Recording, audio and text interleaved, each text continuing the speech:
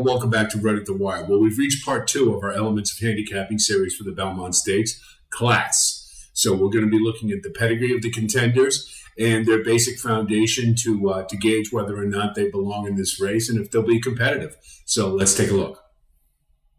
Part two is class, an assessment of whether or not each contender rightly belongs in the Belmont Stakes from a competitive standpoint.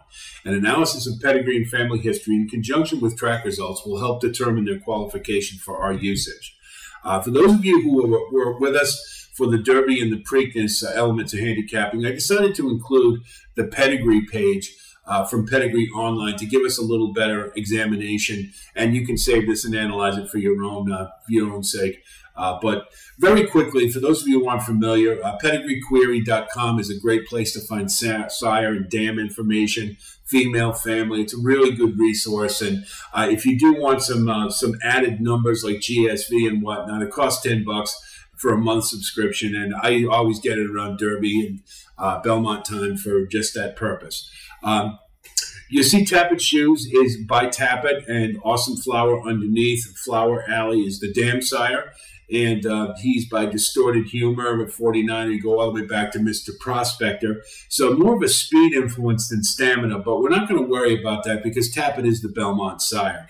Uh, just to give you a little breakdown of some of these numbers very quickly, you see bracketed 8H. That is the female family, which you can also find in the bottom right hand corner.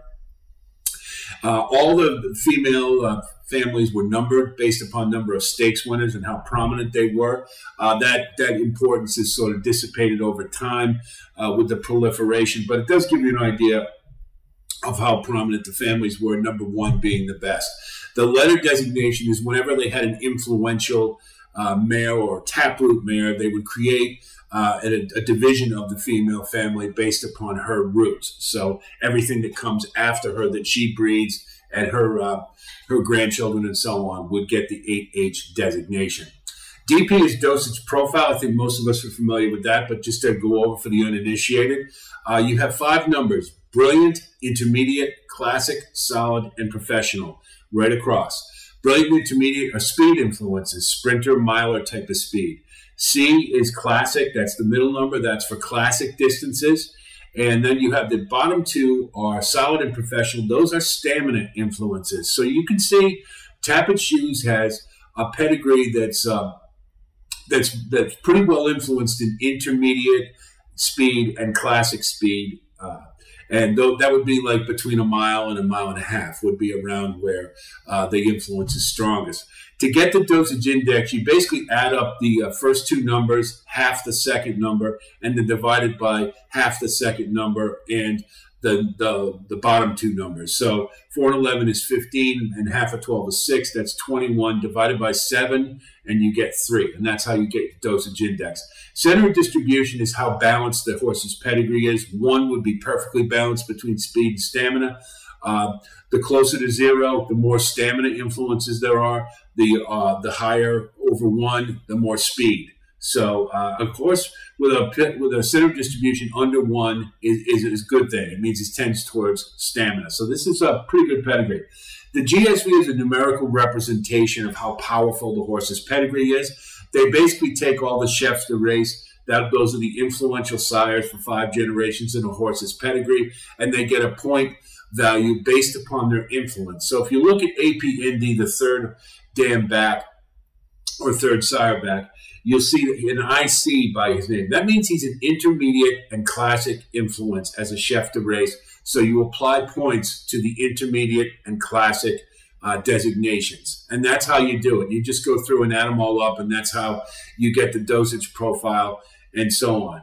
They have not updated the chefs de race in quite some time. So those dosage index and center distribution and dosage profile, they aren't necessarily as accurate as they could be because they they haven't named any new chefs de race. Like Curlin obviously would be one of them. Tapit's likely going to be one, uh, just to give you an idea. But it is a fairly, you know, I know you guys want to see the numbers, and it does give you a fair idea of what their horse's pedigree looks like. In the GSV, that's not necessarily as accurate either. You can see by Pulpit 4968, AP Indy 68.1, and Seattle Slew 83.97. The older the sire is, the more the better his genetic strength value score would likely be because he has more generations from which uh, they can add points to a, uh, to the formula to come up with the number. So um, it's a 54.53 isn't necessarily an accurate number because they haven't updated the chefs de race, but you can compare it to the rest of the field. And Tapit Shoes 54.53 is a pretty good number in relation to the rest of the field. All that said, I think he's going to be okay with the classic distance. Just to give you another little idea, uh, the conduit mare profile on the bottom uses those same numbers brilliant, intermediate, classic, solid, and professional you tend to see more stamina influences from the dam side, which is not a surprise because that's where the class comes from. So you can see uh, if you add those numbers, uh, the, the first two speed numbers, you come up with 10. And if you add the bottom two stamina numbers, you come up with 17. So this horse tends a little bit towards stamina. So all that said, shouldn't be a problem uh, being in the classic distances. Uh, just as a, an aside, if, if, those of you who want to look into it, uh, you do have the family summary. It just represents how many of the different female families are represented and how many generations. Uh, but I'll leave that to you. That's not necessarily my bag, and I, I don't want to misrepresent. Uh, anyway, if that, all that wasn't enough for you, uh, Tapit Shoes is a half to Cyberknife, who, as we remember from last year, uh, ran on the Triple Crown Trail and uh, and did pretty well classic distances as he got older. So uh, that may be an indication that maybe the best is yet to come with Tapit shoes. He's going to get a B plus from me because I think his pedigree does qualify him for the the uh, Belmont. It's not an A because we haven't seen him run in graded stakes company yet at classic distances. So, um, but I think he's pretty well qualified from a pedigree standpoint. Number two is Tapit Trice, uh, you know everybody's favorite for the Belmont. You know, again, he's by Tapit, the Belmont sire. We could pretty much stop there. Uh, if we look at the dosage profile, you see pretty good uh, in, intermediate uh, uh, speed influence there. It's the highest, and he does have classic, and he's got a little solid too. So uh, three nine two probably not indicative. I would say that he's probably more towards a two uh, in dosage profile if we looked at, at the whole thing. 53.65, he's got a good score. It's competitive with the rest of them. I don't think Tapit Trice is going to have a problem with the Belmont. I think it's going to meet him square between the eyes.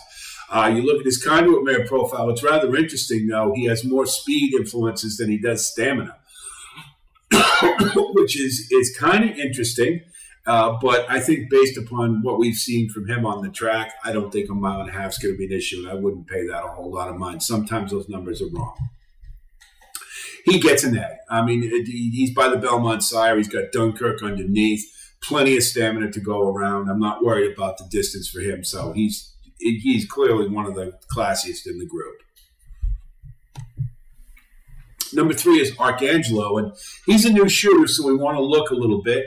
Uh, Arrogate is uh, unfortunately has been uh, we've been lost to us, so he has a limited sample. But he was a hell of a horse in his own right, and you see he is by uh, Unbridled Song, Unbridled Fappiano. That's the uh, stamina wing of the Mister Prospector group. Unbridled was is a great uh, was a great sire, and Unbridled Song even became a chef chef de race for intermediate. So uh, Fappiano Intermediate Classic. So there's some stamina in the pedigree, and we know this because of the way Arrogate ran.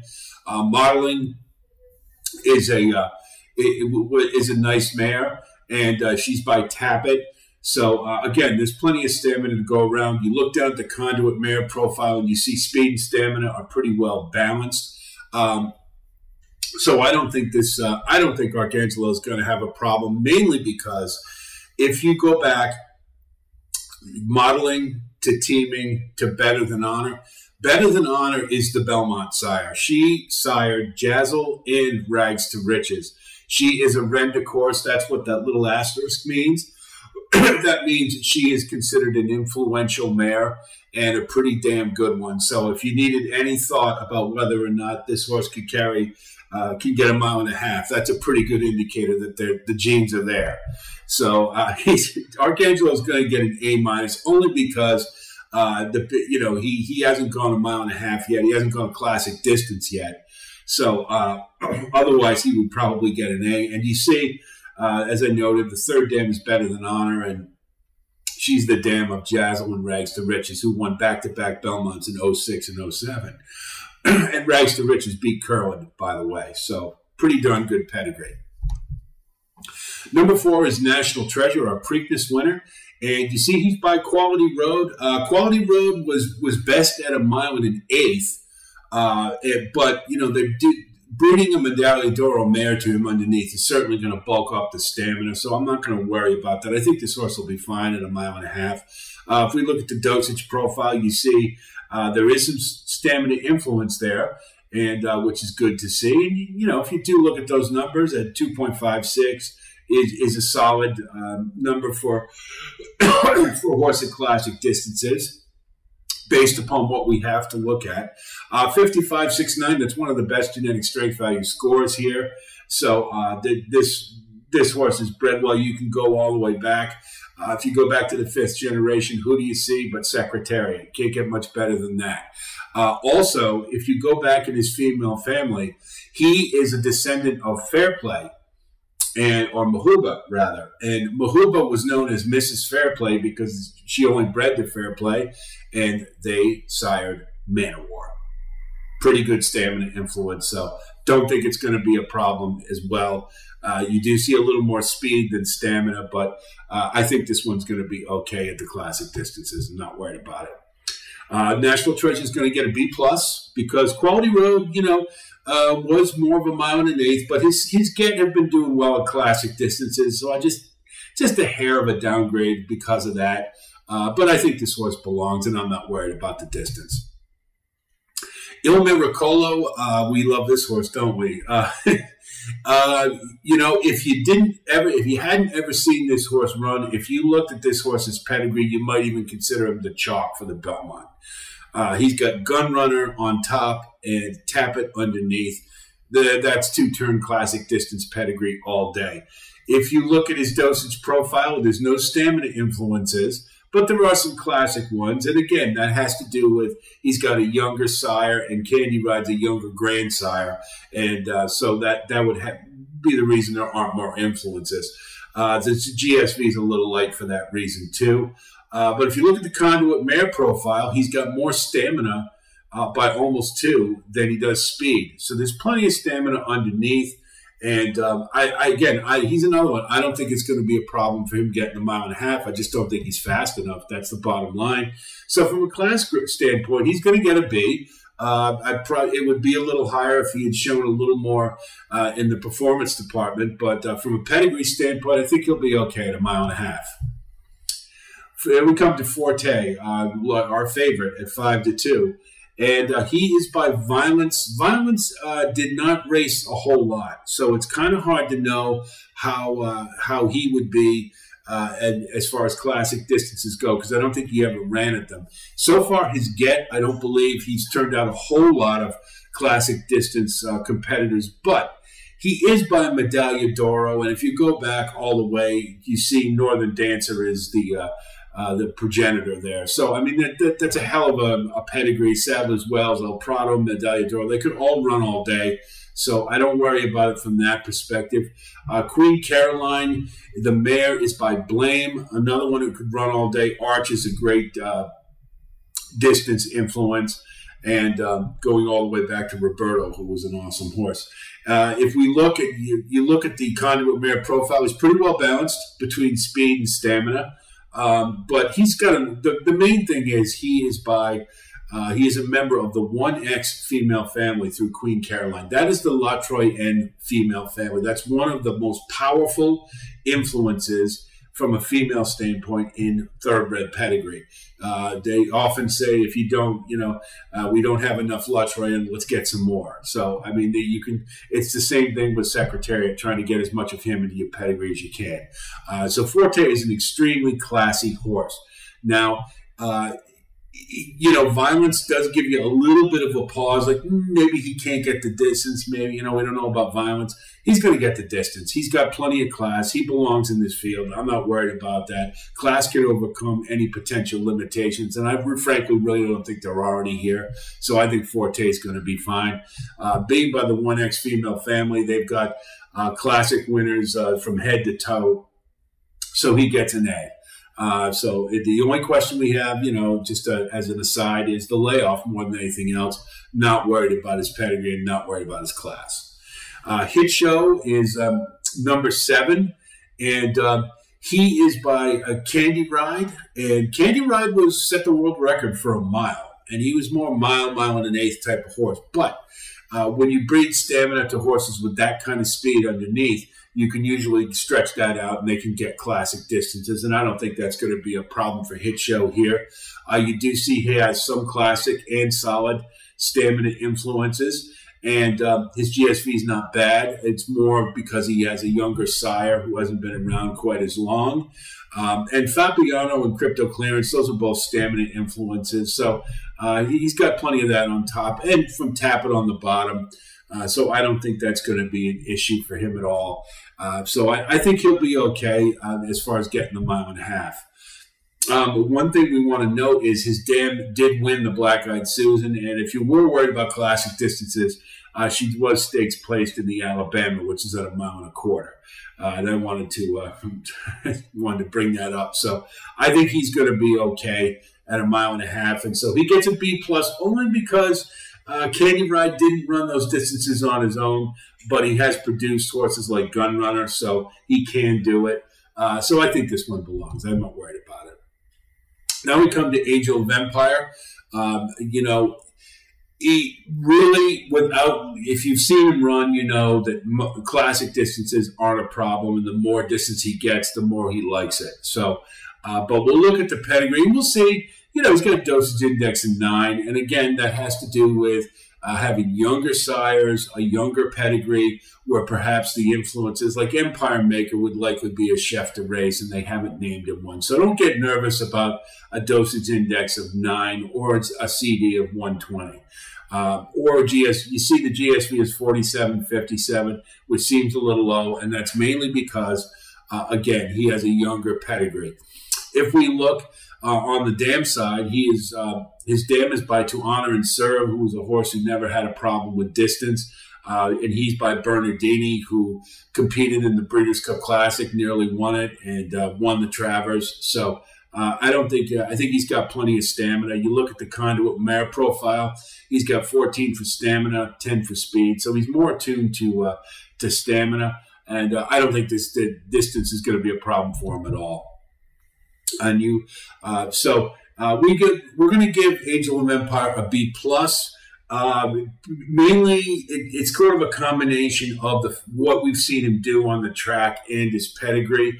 Uh, he doesn't. He's not as his pedigree isn't as classy as let's say Forte or Tapit Trice, but it is it is serviceable, and I think he's it, it's enough to get him a mile and a half. So class wise, I you know, and based upon how he's run, I don't think there's any doubt he belongs in this field. So now we come to Red Route 1. Uh, see he is uh, also a member of female family 8, 8D. And um, you see that uh, he's he, uh, he's another one. He's by Gun Runner and Candy Ride. So again, those numbers are going to be a little inaccurate. Uh, the GSV of 4842 uh, that will likely go up as uh, as he progresses along uh, and becomes a sire himself. you see the dosage index and, and the center of distribution both both warrant uh, consideration for classic distances. Not going to be a problem.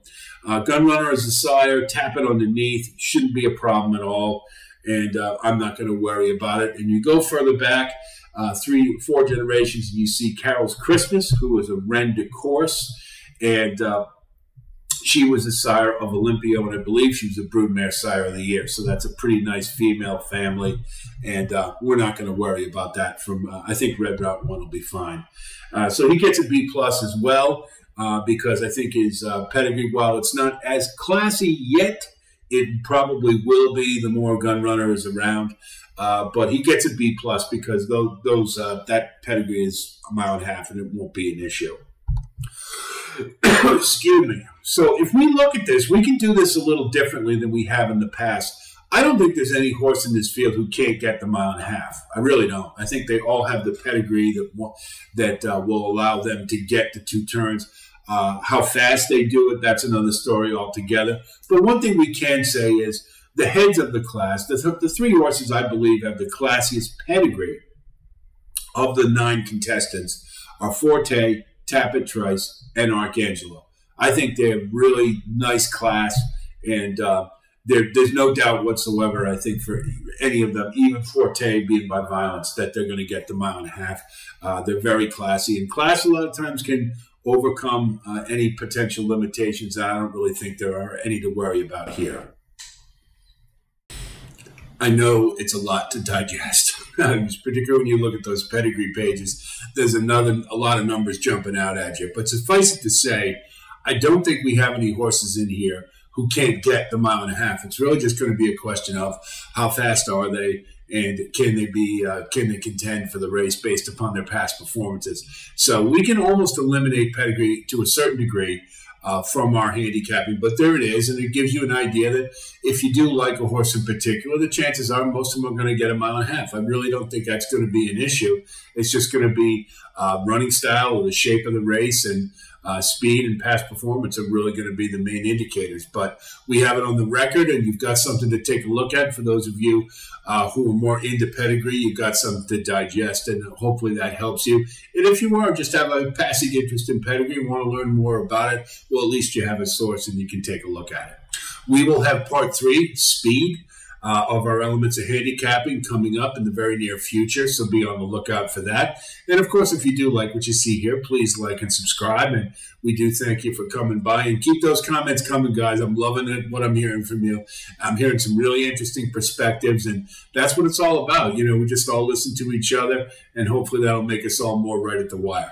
So I'll be talking to you in the very near future. And until then, be well.